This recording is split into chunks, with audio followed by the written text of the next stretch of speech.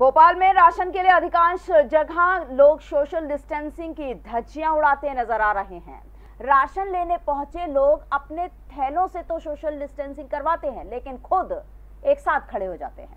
इन लोगों ने ना तो प्रशासन ऐसा करने से रोक पाता है और ना ही दुकानदार। शासकीय उचित मूल्य की राशन दुकानों पर सोशल डिस्टेंसिंग नियमों की जमकर धज्जियाँ उड़ाई जा रही हैं। लोग अपने थैलों को सोशल डिस्टेंसिंग के नाम पर गोलों के घेरे में रख देते हैं और खुद एक जगह भीड़ इकट्ठा करके जमावड़ा लगाते हैं। ये नज़ारा देखकर आप खुद अंदाज़ा लगा सकते हैं कि भोपाल के लोग कोरोना संक्रमण को लेकर कितने सतर्क हैं। ऐसे में प्रशासन और दुकानदार दोनों ही लापरवाह रवैया अपनाए हुए हैं। भोपाल ने बाफना कॉलोनी की इस दुकान पर बड़ी संख्या में मौजूद लोगों को देखकर लगता है कि कोरोना का कोई खतरा ही नहीं है। सोशल डिस्टेंसिंग का पालन करना भले ही ये राशन की दुकान के बाहर रखे थैले सीख गए हों मगर इनमें कोई समझदारी नहीं है।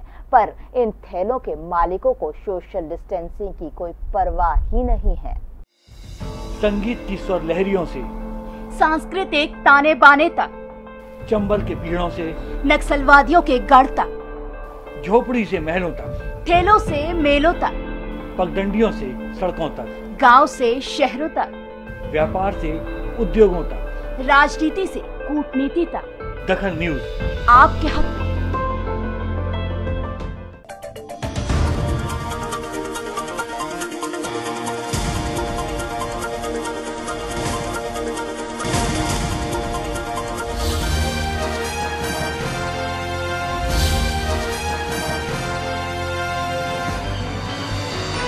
आप देख रहे हैं दखल न्यूज़।